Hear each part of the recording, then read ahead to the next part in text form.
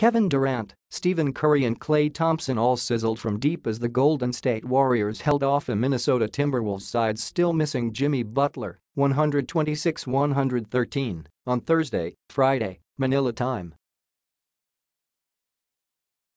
The Warriors' star trio combined for 18 of the team's 21 triples, with Thompson making seven three-pointers.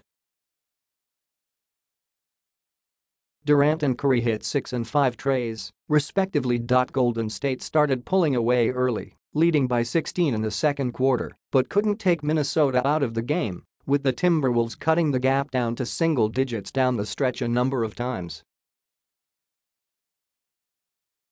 Still, the Warriors held on with timely baskets and stops in the closing minutes to win their second straight game and improve to 39-10.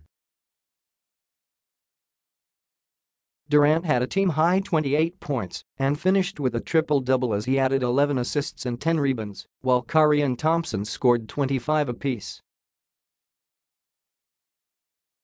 Karl-Anthony Towns led all scorers with 31 points. Jamal Crawford scored 21 off the bench for the Timberwolves, 31-20, losers of two straight games.